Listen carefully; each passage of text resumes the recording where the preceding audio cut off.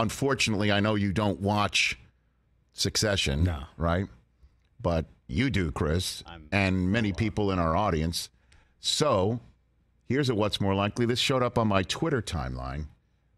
Um, Oh, at Joe this. Programmer, because this is, I think, was responding to Jimmy Traina. I think that's how we both saw it. Yeah, yeah, yeah. Here are the lines from this person on Twitter as to who will wind up winning Succession, if you will. Winning is what their CEO. They are in charge of the company when it Waystar? Royco, whether it is purchased by, you know, Lukas the Matsson, Swede or yeah, not. yeah. Okay. I think it's going to be Kendall, So Kendall is at plus 125. and I weirdly think like Greg is going to be his number two. Um, I think, I, I personally think, if I Stewy's an interesting one right there.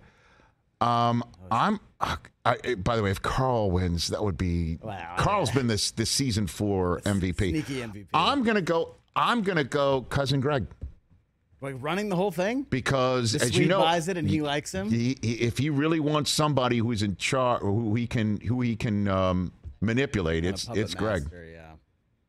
What a hell of a season finale Yeah, this is going to awesome. be. It's- That's a it's- Sunday night. It's 90 minutes. Uh, Stewy, I saw an article with the actor who plays him. He's in the finale, so that's Okay. cool. He's been a great character, but yeah, Ni- it's, gonna, it's 90 minutes long. It's, gonna It's be like a mini, feature it's like a mini movie. It's gonna be Love it. so great. It's so great. It is so well done. You guys should get right into it and keep your head down over the weekend because it's going to be all over. Um, just like the uh, Eastern Conference Finals after Game Six. Yeah? Oh, so you're taking.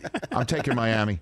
Yeah, You wanna gonna take make it Miami. interesting? I, as you know, I don't make things interesting other than with my words How about this? How about and this? my takes How about and my opinions. How about this? and my cheat days. How about this?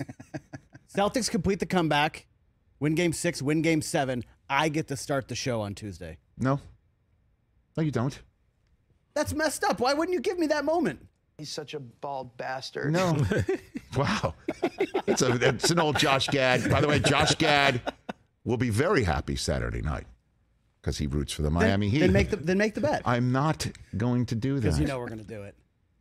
I don't care Yes, you do. what you Yes, you ascribe do. to my thought Yes, you do. process, other than the fact.